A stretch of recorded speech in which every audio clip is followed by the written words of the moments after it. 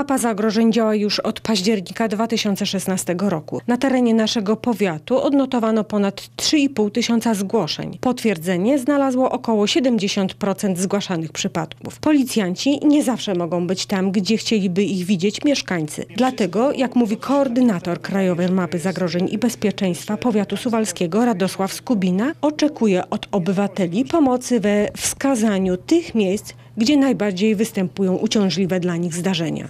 My oczywiście wcześniej też wiedzieliśmy o tych miejscach, ale nam wskazują pory dnia na przykład, y, dni tygodnia, gdzie obserwują występowanie najczęściej takiego zagrożenia.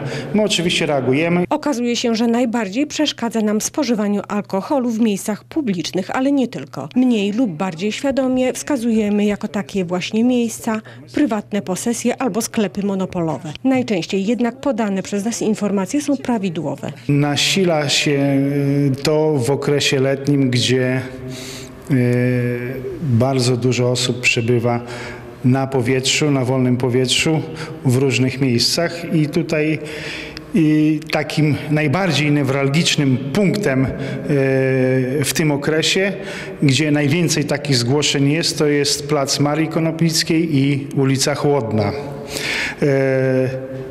W związku z tym najczęściej też tam kierujemy y, patrole policji w celu eliminacji tego zagrożenia. Policjanci na raczących się napojami wyskokowymi Suwalczan nakładają mandaty. Zgłoszenia dotyczące zagrożeń na drogach zajmują dopiero drugie miejsce. Takim y, zagrożeniem jest ciąg drogi numer 8 od Suwałk do miejscowości Szypliszki.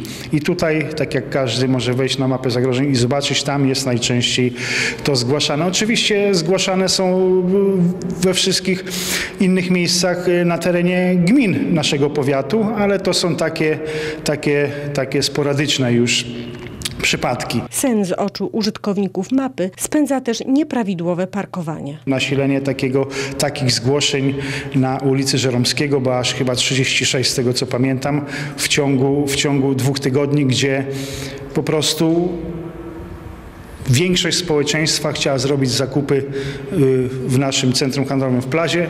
Przy plazie, czy w parkingu podziemnym już nie było miejsc, więc najczęściej były to osoby przyjezdne. Sporadycznie, ale jednak mieszkańcy informują o przypadkach znęcania się nad zwierzętami. Oczywiście nie brakuje też zgłoszeń dotyczących bezdomności i żebractwa. To nie wiem, czym to jest podyktowane, ale w tym okresie zimowym, gdzie w rzeczywistości powinno być najczęściej zgłaszana ta bezdomność, jest to zgłaszane w okresie letnim. Według naszego rozmówcy mapa zagrożeń jako narzędzie ujawniania najbardziej pospolitych wykroczeń sprawdza się bardzo dobrze. Zachęca też do korzystania z możliwości, jakie ona daje.